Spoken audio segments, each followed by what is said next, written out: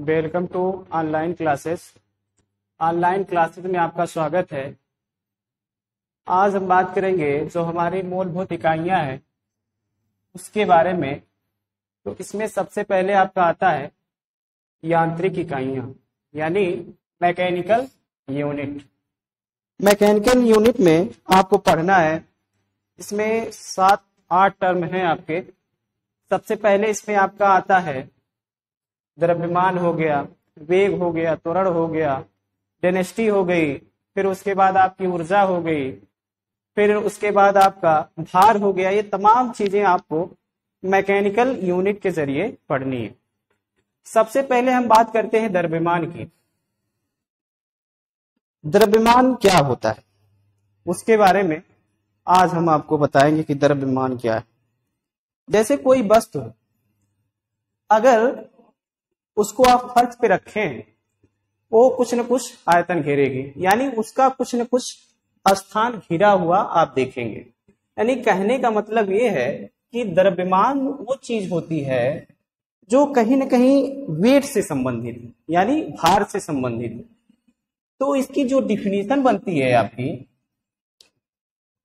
जो द्रव्यमान की डिफिनीशन बनती है, कुछ इस प्रकार है, किसी पदार्थ की वो मात्रा किसी पदार्थ की वो मात्रा जो द्रव्य को डिनोट करती है या प्रदर्शित करती है, उसे हम क्या कहते हैं? द्रव्यमान कहते हैं। उसे क्या कहते हैं हम? द्रव्यमान कहते हैं। लिख लीजिए इसको। किसी पदार्थ की वह मात्रा जो द्रव्य को प्रदर्शित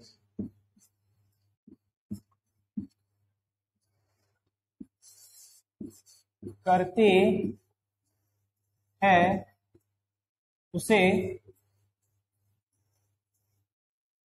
द्रव्यमान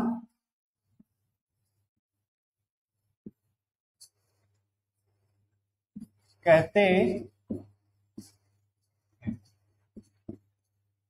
ये इसकी परिभाषा बनती है।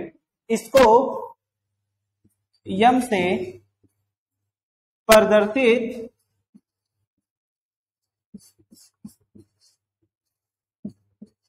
किया जाता है। इसका जो मात्रक होता है कभी कभी यूनिट्स भी पूछी जाती है, जैसे ऑब्जेक्टिव टाइप क्वेश्चन में कभी कभी द्रव्यमान की जो यूनिट है, उसके बारे में पूछ लिया जाता है। तो इसकी जो यूनिट बनती है आपकी यूनिट आपकी किलोग्राम इसमें, इसकी जो यूनिट बनती है आपकी किलोग्राम में इसको हम मापते हैं। यानी इसका जो मापन किया जाता है, वो किलोग्राम में किया जाता है। ठीक ना? एक इसमें एक अलग मतलब अलग टर्म जोड़ता है आपका। कभी कभी जैसे इसके बारे में पूछ लिया जाता है कि ये सदिश राशियाँ हैं या आदिश राशियाँ हैं तो ये क्या है? आदिश राशियाँ इसको बोला जाता है आपका। आदिश राशि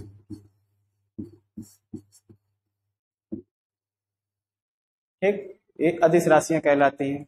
यानी इसमें सिर्फ़ आपको क्वांटिटी मिलेगी। यानी सिर्फ़ और सिर्फ़ इसका द्रव्यमान मिलेगा, यानी मात्रा मिलेगी, और इसकी कोई दिशा नहीं होती। सदिश राशि अगर परिभाषा इसकी देखी जाए, जो सदिश राशियाँ होती हैं, वो कहीं न कहीं परिमाण के साथ साथ दिशा को भी प्रदर्शित करती है। लेकिन जो अधिस राशियाँ होती हैं, उसमें सिर्फ़ और सिर्फ़ परिमाण होता है, दिशा नहीं होती है। तो ये कैसी राशि होगी? अधिस राशि। ठीक? अब हम बात करते हैं नेक्स्ट की। बेग।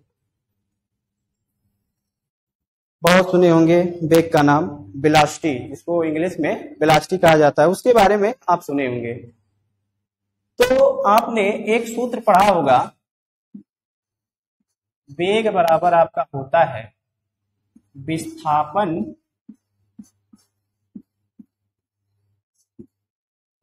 बटे समय।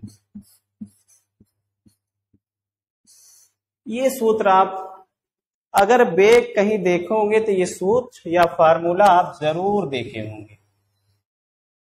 तो समय के साथ, यानी समय के साथ अगर कोई वस्तु विस्थापित हो रही है, यानी एक स्थान से दूसरे स्थान तक जा रही है, वही हमारा क्या कहलाता है?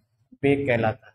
यानी एकांक समय में किसी वस्तु में विस्थापन या आप कह सकते हैं, एक स्थान से दूसरे स्थान पे जो दूरी तय कर रही है, उसे हम क्या कहते हैं? वेग कहते हैं। इसकी आप परिभाषा लिख लीजिए।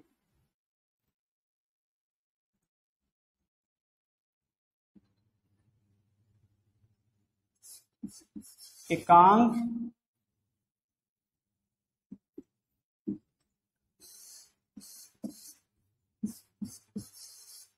एकांक समय में समय में कोई वस्तु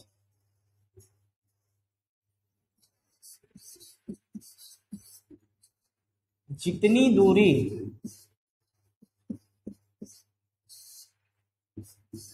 विस्थापित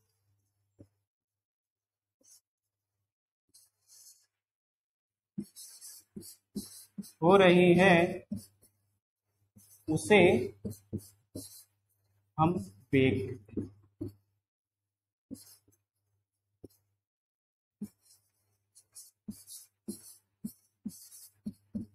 ठीक ना?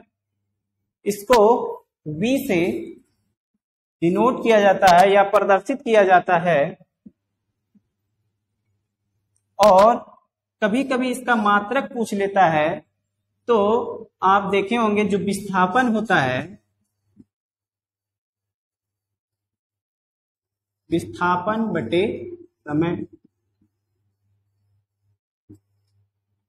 चूँकि जो विस्थापन होता है, जैसे कोई मान के चलिए वस्तु आपके पास है, एक स्थान से, यानी मान के चलिए यम द्रव्यमान की कोई वस्तु है, अगर इसको डी दूरी तय करना यानी यहाँ से यहाँ तक इसको विस्थापित करना है तो मान चलिए अगर इसमें टी समय लग रहा है तो इसकी जो आ, क्या नाम यूनिट्स बनी चूँकि विस्थापन विस्थापन क्या है? दूरी है। तो दूरी को हम क्या? मीटर में मापते हैं। इसमें मीटर में। और समय को सेकेंड में।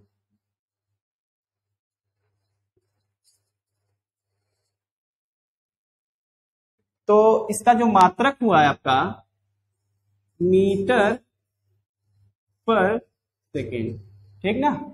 इसका जो मात्रक हुआ, मीटर पर सेकेंड। कभी कभी इसकी बीमा पूछ लेता है हाँ। कभी कभी इसके बारे में ये पूछता है कि ये सदिश राशि है या आदिश राशि है। तो ये कौन सी राशि है? कौन सी राशि है? ये सदिश राशि है। क्योंकि इसमें आप देखेंगे मतलब परिमाण के साथ साथ, यानी उसकी क्वांटिटी के साथ साथ कहीं ना कहीं उसकी दिशा भी ये निर्धारित करती है। अब चूँकि यहाँ पे जो द्रव्यमान है, उसको किसी एंगल पे आप कह सकते हैं किसी दिशा में विस्थापित करेंगे ना तो कहीं ना कहीं ये हमारी कैसी राशि है? सदिश राशि। सदिश राशि। आप इसको पॉइंट डाल के आप नोट कर लीजिएगा। कभी कभी एग्ज़ाम में पूछ लेता है कि बताइए बेग कैसी राशि है या कौन सी राशि में आती है? सदिश राशि है या आदिश राशि है? तो आप हमेशा इसको याद कर ले। क्योंकि मैंने डिफिनीशन तो बता ही बता ही दिया आपको कि इसमें कहीं कहीं परिमाण के साथ साथ आपकी दिशा भी है। तो ज़ाहिर सी बात है सदिश राशियों में कहीं न कहीं परिमाण और दिशा दोनों पाई जाती है तो ये कौन सी राशि हो जाएगी आपकी? सदिश राशि हो जाएगी, ठीक ना? हाँ कभी कभी इसके बीमा के बारे में पूछ लेता है। तो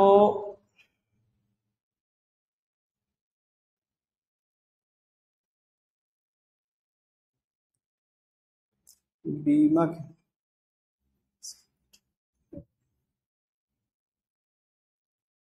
यही देख लीजिए आप। बीमा के बारे में कभी कभी पूछ लेता है। तो मैंने आपको बताया बी बराबर मीटर पर सेकेंड, ठीक ना? ये इसका मात्रक मैंने आपको बताया है। तो आप देखेंगे, जो मीटर होता है, उसको यानी दूरी है तो दूरी को हम किसमें, यानी लंबाई है या चौड़ाई जो भी है, उसको हम हमेशा यल से डिनोट करते हैं, ठीक ना? अगर लंबाई है तो उसको यल से डिनोट करेंगे। और अगर ये सेकंड यानी समय दिया सेकंड में तो इसको आप टी से डिनोट करेंगे, ठीक? तो इसकी जो बीमा हुई आपकी एल टे माइनस वन चूँकि जब इसको ऊपर आप लेकर जाएँगे तो माइनस में हो जाएगा, ठीक ना? ये अगर ऊपर आप इसको लेकर जाएँगे तो माइनस में हो जाएगा। ये इसकी बीमा हो गई। चलिए। अब एक्सिलरेशन की बात करते हैं। त्वरण लोग कहते हैं कि वेग परिवर्तन की दर को त्वरण कहते हैं। वेग परिवर्तन की दर को त्वरण कहते हैं। तो कैसे परिवर्तन होता है हमको उसके बारे में जानना। परिभाषा तो बहुत आसान है, वेग परिवर्तन की दर त्वरण लेकिन कैसे परिवर्तन होता है, आइए हम आपको बताते हैं। जैसे, मान के चलिए, कोई आपके पास वस्तु है, मान के चलिए उसका जो वेट है, आप कह सकते हैं उसका जो द्रव्यमान है, यम है। इसको मान के चलिए हम 20 मीटर पर सेकंड के बेग से चलाते हैं इसको, यानी एक सेकंड में वो 20 मीटर तय कर रही है। कुछ सेकंड के बाद इसका जो वेग है, वो घट के 10 मीटर पर सेकेंड हो जा रहा है। यानी एक सेकेंड में वो 10 मीटर चल रही है। एक मीटर, एक सेकेंड में 10 मीटर वो चल रही है। अर्थात कहने का मतलब ये है कि इसमें परिवर्तन हो रहा है आपका। यानी वेग में आपका कहीं न कहीं चेंजेस हो रहे हैं। यानी अभी आपने पहले जब वो चली तो 20 मीटर पर सेकंड, यानी एक सेकंड में 20 मीटर चल रही है। और जब वो दोबारा चली तो उसका वेग घट के 10 मीटर पर सेकेंड हो गया। 10 मीटर पर सेकेंड हो गया, अर्थात कहीं न कहीं इसमें एक्सेलरेशन आया। यानी कुछ दूरी चली होगी, एक मतलब कंटिन्यू स्पीड से, उसके बाद क्या हुआ कि उसकी स्पीड डाउन हो गई। यानी कहीं कहीं पहले वाली जो स्पीड है, दूसरी वाली स्पीड में कुछ न कुछ अंतर, कितने का अंतर, वही हम देखेंगे अभी। तो आप देखेंगे जो एक्सिलेशन है, उसको हम ए से डिनोट करते हैं। ए से डिनोट करते हैं। ए से इसको डिनोट किया जाता है या प्रदर्शित किया जाता है। और ए बराबर होता है आपका डीबी अपान डी टी तो जैसे मैंने अभी एग्जांपल जो आपको दिया था 20 मीटर पर सेकेंड और दूसरी वस्तु जब यहाँ से चली तो 10 मीटर पर सेकेंड से चली। 10 मीटर पर सेकेंड से चली है। तो कहीं कहीं आप देखेंगे, इसमें परिवर्तन हो रहा है। कितने का हो रहा है आप देख लीजिए। बीस माइनस दस बटे एक, यानी पर सेकेंड, यानी एक सेकेंड की बात कर रहा है। तो दस बटे एक बराबर दस। अब देखिए यहाँ इसकी यूनिट की बात होती है कि इसके आगे आप यूनिट क्या लिखेंगे? ठीक ना? तो आपने अभी पढ़ा, जो बेग की यूनिट है, वो मीटर मीटर पर सेकेंड आपने कहा। और जो समय होता है, यानी समय में जो परिवर्तन हो रहा है आपका, वो क्योंकि समय है तो इसको हम हमेशा सेकेंड में लेंगे। इसमें लेंगे?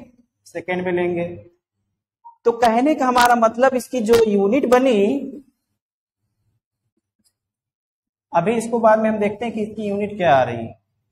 तो इसकी जो यूनिट बनी metre per second into second यानी मीटर पर सेकेंड स्क्वायर ठीक ना? इसकी जो यूनिट बनी मीटर पर सेकेंड स्क्वायर यानी इसके आगे हम लिख सकते हैं मीटर पर सेकेंड स्क्वायर। और कभी कभी इसकी बीमा की बात करता है तो बीमा आप लिख लीजिए। बीमा। मैंने अभी बताया जो दूरी हम किसमें लेते हैं यल से लेते हैं। और समय को समय को हम टी से लेते हैं।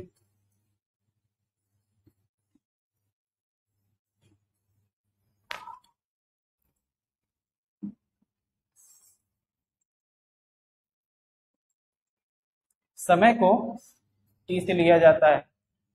तो आपने सूत्र पढ़ा तोरण का एक्सिलरेशन का मीटर पर सेकेंड स्क्वायर तो यल बाई टी स्क्वायर हो जाएगा। तो यल टी माइनस और ये भी क्या है? अगर रास की बात की जाए सॉरी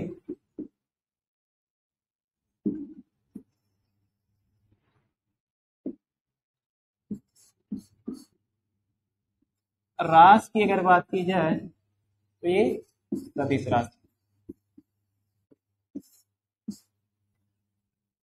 ठीक ना?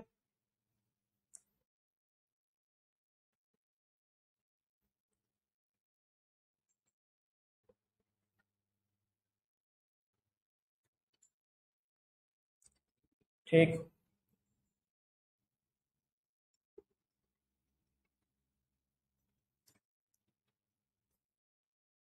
तो हमने द्रव्यमान पढ़ लिया वेग पढ़ लिया त्वरण भी पढ़ लिया। अब बात करते हैं फोर्स की। फोर्स क्या होता है? फोर्स हम अपने दैनिक जीवन में हर जगह देखते हैं। यानी बल का उपयोग हम हर जगह देखते हैं। जैसे कोई वस्तु है मान के चलिए कोई वस्तु है अगर स्थित या गतिमान उसकी अवस्था में अगर हम परिवर्तन करना चाहें उसकी अवस्था में अगर हम परिवर्तन करना चाहें तो हमें फोर्स की आवश्यकता होगी। यानी बल की आवश्यकता होगी।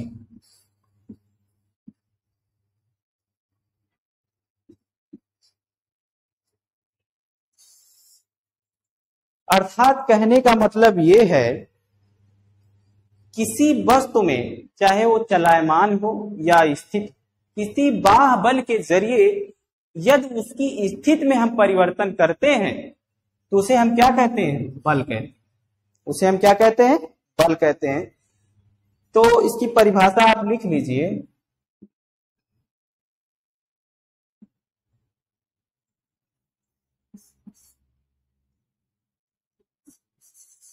किसी स्थित या चलाय मान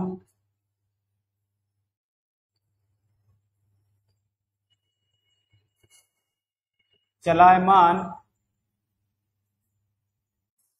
वस्तु पर किसी वाह बल के ज़रिए या बल के द्वारा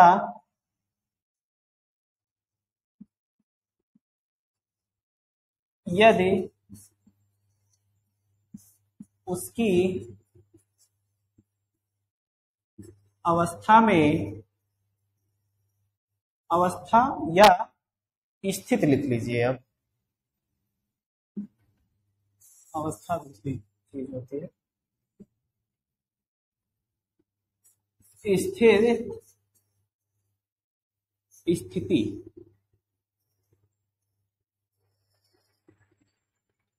समझ में आ रहा होगा स्थिति में परिवर्तन किया जाए।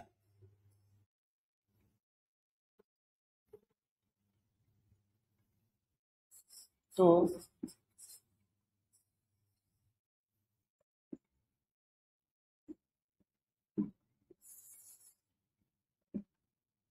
उसे बल्ब है या इसको ऊपर लिख लीजिए आप।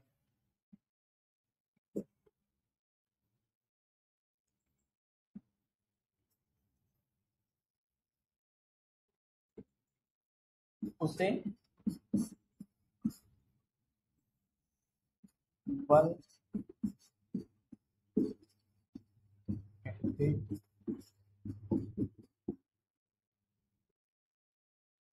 इसको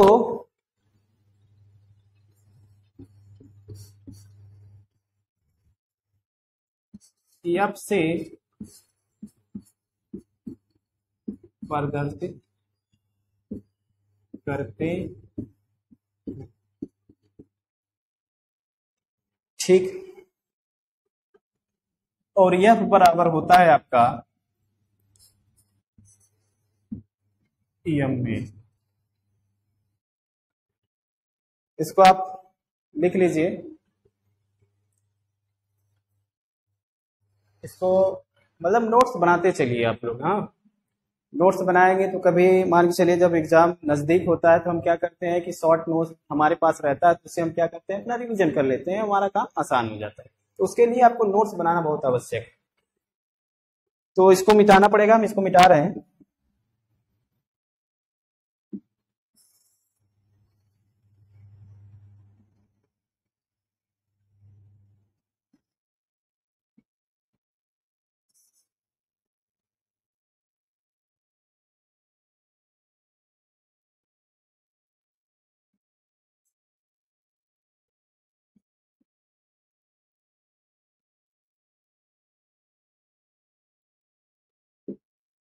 एफ़ बराबर एम ए अब इसकी यूनिट्स की बात की जाए। यूनिट्स यूनिट्स क्या होती है? आपने पढ़ा एफ़ बराबर एम में इसका फार्मूला होता है। यम को हम किसमें अभी आपने द्रव्यमान जब पढ़ा इसको किलोग्राम में मापते हैं, ठीक?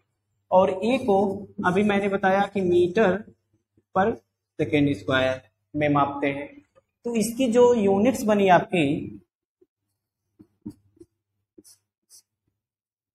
यूनिट्स बनी आपकी kilogram metre per second square. ठीक ना? इसकी जो यूनिट्स बनी metre, kilogram metre per second square. और कहीं कहीं चूँकि न्यूटन ने जो बल था, जो आप बल की जो परिभाषा आप देखे हैं उसकी जो खोज की थी, वो न्यूटन ने की थी। कि इसका जो मात्रक होता है, न्यूटन भी होता है, ठीक ना? इसका जो मात्रक मात्रक होता है, वो न्यूटन भी होता है। अब हम बात करते हैं बीमा की। यही देख लीजिए आप।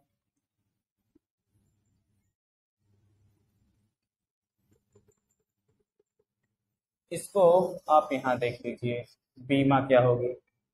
द्रव्यमान को यम से प्रदर्शित करते हैं मीटर को यल से सेकेंड को या समय को, टी से। तो इसकी जो बीमा हो जाएगी आपकी sorry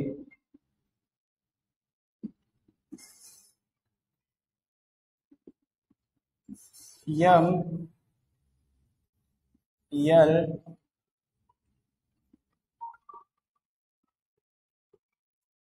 T minus two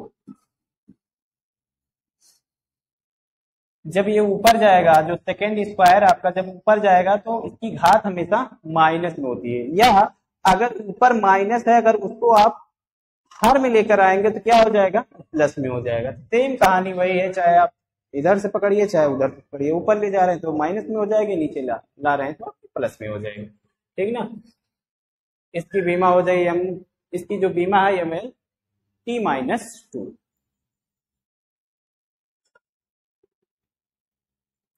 ठीक। आगे बात करते हैं हम लोग। डिनेस्टी